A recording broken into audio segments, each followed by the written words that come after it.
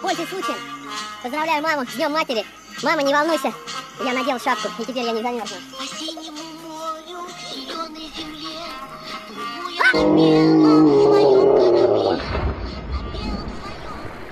Ой, один Меня не шапку. пугают ни волны, ни ветер,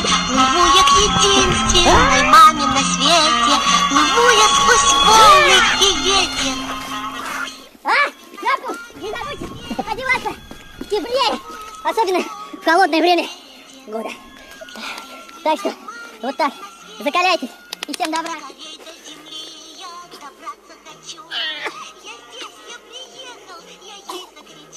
Богдан, греемся у костерочка и пьем чаек. Чайку горяченького. Вот в чем сила.